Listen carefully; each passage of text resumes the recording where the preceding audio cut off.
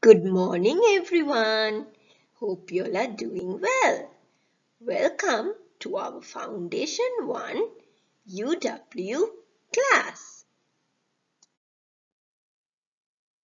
Today's learning objective is learners will be able to understand what are plants and germination.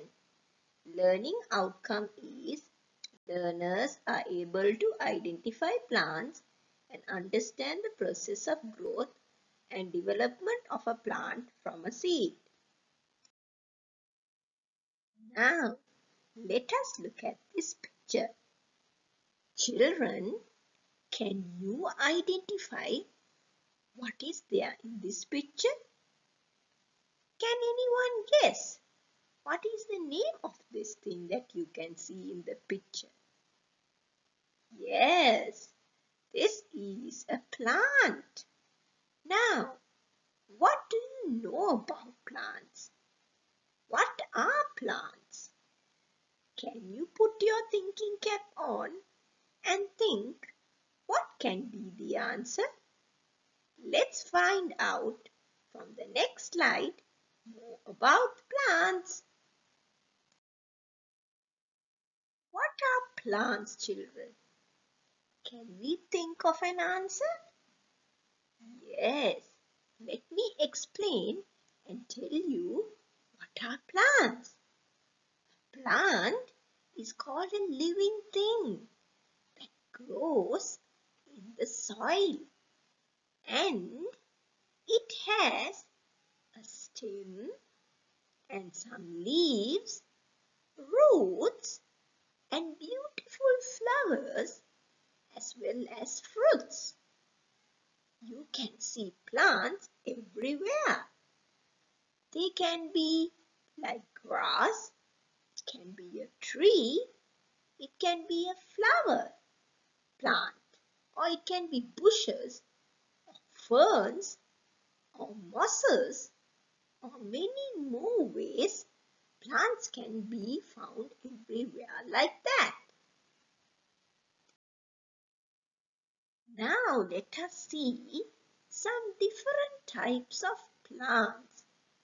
Do you know children that plants are of different shapes and sizes? Can you see these pictures? Can you see that each plant looks different from each other? On the right topmost corner, you can see a plant looks like it has thorns. Yes, that is a desert plant called cactus. It is famous as it is grown in the desert. And can you look at this flower pot here? It has beautiful yellow flowers that are called sunflowers. And below that, there are types of plants that are called ferns and mosses, as well as we can see many more other types of bushes and trees like beech and palm tree. So children, plants can be in different ways, in different shapes, and in different sizes. Now, as we learn there are different types of plants, let us see what do we need for a plant to grow? Yes, for a plant to grow, the plant needs a seed, then soil, water, air and sunlight. So, how does a plant grow? Let's see the stages of how a plant grows. First, a seed is planted in the soil. So can you see children? There is a pot and full of soil and a seed is planted there. Now, we need to pour water to the seed. Yes, when we pour water to the seed, the seed is able to grow. Then we have to keep it in the sunlight by keeping the plant pot outside. As it is we have put water and we are going to get sunlight, let us see what more other things they need to grow into a plant. Okay, children, now remember we planted the seed in the soil, we poured water and we kept it outside in the sunlight.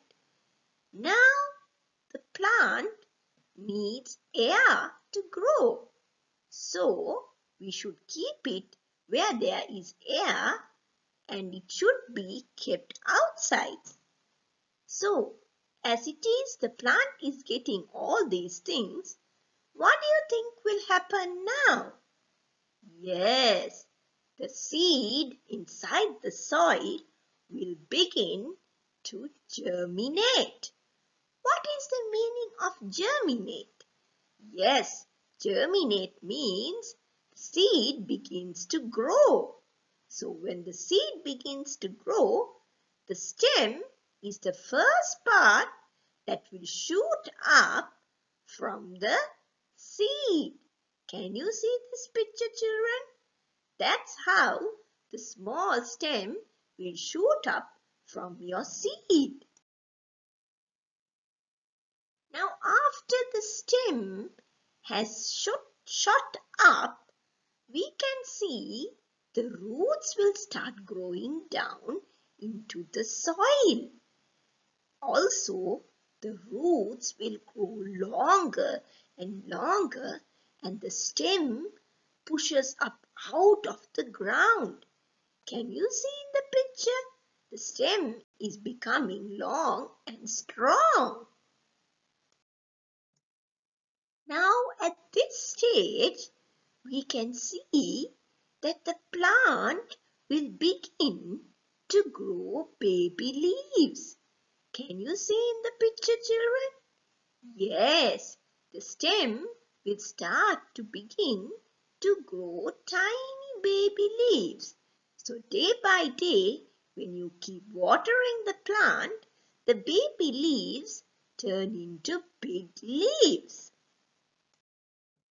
Now, at the last stage, let us see what has happened to the seed that we planted in the ground or in a pot.